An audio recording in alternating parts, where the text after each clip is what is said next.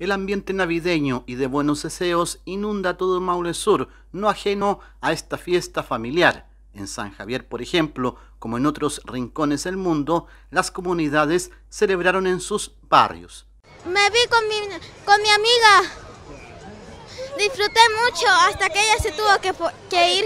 Los juegos son súper entretenidos. Conseguí hasta un amigo. Estaba saltando en una saltarina, jugamos el tacataca, me subí al toro. Juegos inflables, show de música, bailes y magia fueron parte de esta fiesta de Navidad comunal. Súper bien. ¿Qué es lo que más le gustó? La actividad de los niños que la han pasado bien y están disfrutando.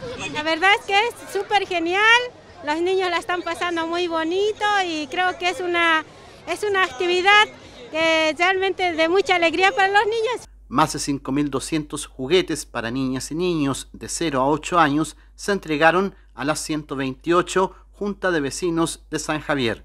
Al final es la Nochebuena en donde esperamos una nueva esperanza en el nacimiento del Niño Dios.